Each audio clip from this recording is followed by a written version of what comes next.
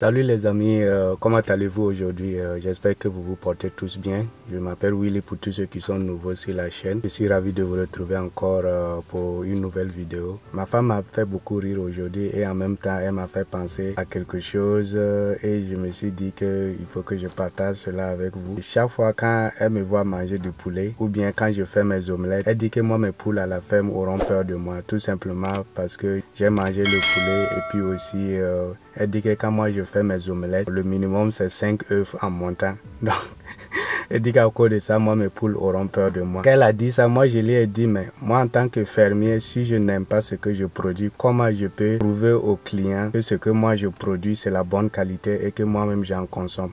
Parce que cela est très important ce que vous produisez. Faut que vous-même vous aimiez ça. Faut que vous puissiez aussi vendre parce que produire c'est bien. Le marketing euh, est vraiment important dans tout ce qu'on fait. Donc je voulais en fait euh, profiter de cette vidéo ici pour, pour parler à mes jeunes frères qui se sont lancés dans l'élevage et aussi dans l'agriculture. Je sais que beaucoup d'entre vous, vous serez tentés à consommer ce que vous produisez, ce qui est tout à fait normal. Mais il y a une technique euh, que vous devriez faire si vous voulez pas tomber en faillite parce qu'il y a certaines personnes vont se mettre à consommer ou bien ils vont se mettre à faire euh, des cadeaux aux gens surtout aux filles, pour les garçons, et sans tenir compte que c'est de l'argent qui sort. Parce que quand tu produis et puis tu enlèves dedans, sans mettre quelque chose financièrement, ça réduit euh, tes profits. Et à long terme, ça va beaucoup jouer sur tout ce que tu es en train de faire. Moi, personnellement, pour tout ce qui sort de la ferme, j'achète parce que c'est très important. Parce que quand tu achètes,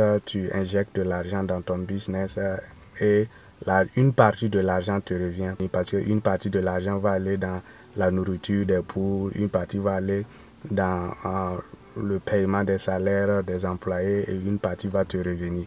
Donc c'est un cercle en fait. Donc c'est important que vous fassiez beaucoup attention à ça.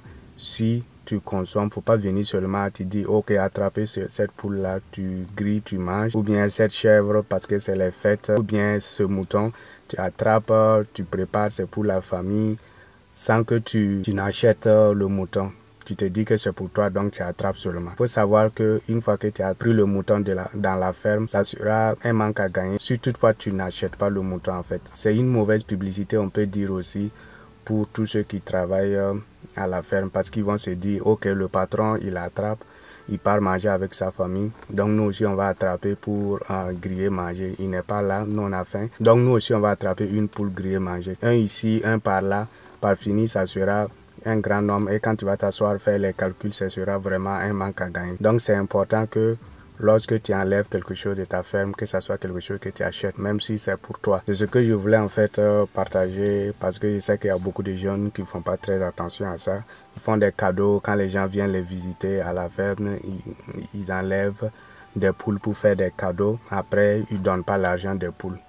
Et après, quand ils vont faire les calculs, ils vont se rendre compte qu'il y a un manque à gagner. C'est tout à fait normal parce que c'est un business. Donc c'est important que et tout ce qui sort soit rémunéré. Si tu veux vraiment que ton business dure et que tu te fasses euh, des profits. Donc c'est ce que je voulais partager avec vous. C'est pas interdit de consommer tout ce que tu produis à la ferme, mais c'est très important que tu fasses attention. Assure-toi que tu achètes tout ce que tu enlèves de ta ferme. C'est vrai, la ferme t'appartient, mais c'est important pour que le business continue à rouler. Il faut que tu achètes ça donne une bonne image aussi. Ils disent que ah, le patron là même, ah, lui-même il achète les poules. Hein. donc, si quelqu'un enlève une de tes poules manger et puis tu viens te plaindre, ne pas s'énerver parce que toi-même tu achètes tout ce qui a à la faire. Voilà, donc c'est ce que je voulais partager avec vous. Prenez soin de vous. On se retrouve ce samedi euh, pour euh, une nouvelle vidéo. Bye bye.